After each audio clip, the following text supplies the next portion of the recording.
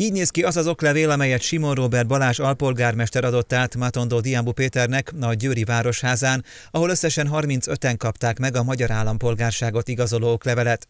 A kongói születésű férfi 15 éve él Magyarországon, annak idején menekült státusszal érkezett Győrbe, azóta főiskolát is végzett, és nagyon megszerette Győrt, illetve Magyarországot.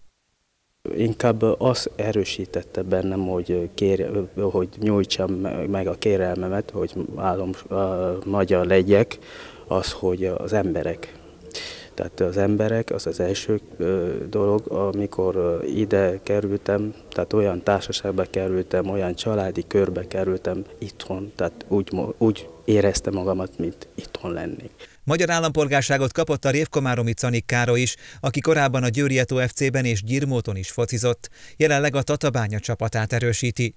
Sportszakmai és érzelmi szempontból is fontos volt neki a magyar állampolgárság. Nagyon boldog vagyok, hogy magyar állampolgár lettem, ez volt a vágyam, az álmom, álmom, így van.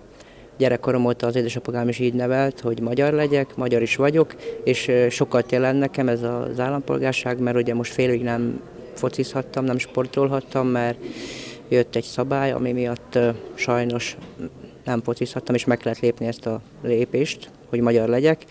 Januártól úgy néz ki, hogy akkor tudok focizni tovább, és nem külföldinek számítok, hanem magyarnak. A 2010-es állampolgársági törvény gyorsítja a honosítás folyamatát.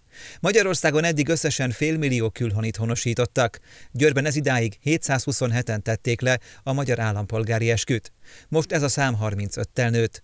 Az állampolgárságot a kérvényező azon a napon kapja meg, amikor az esküjét vagy a fogadalomtételét sikeresen elmondta.